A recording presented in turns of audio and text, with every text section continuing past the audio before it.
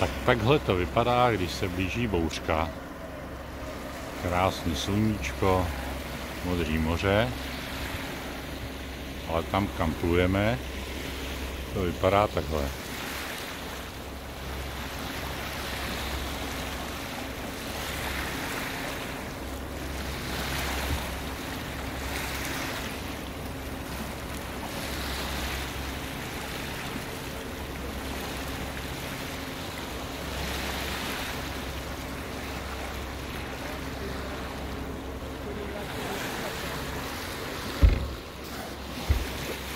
Takže na lodi probíhají přípravy na bouřku.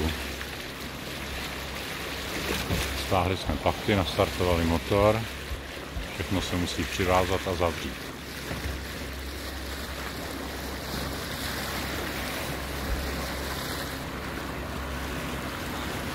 Teď se podíváme na poslední sluníčko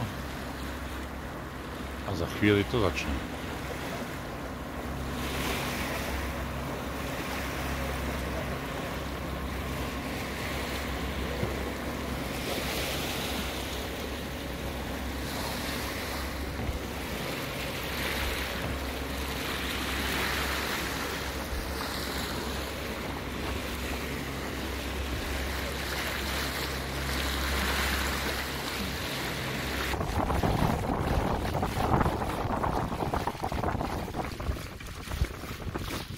Safora.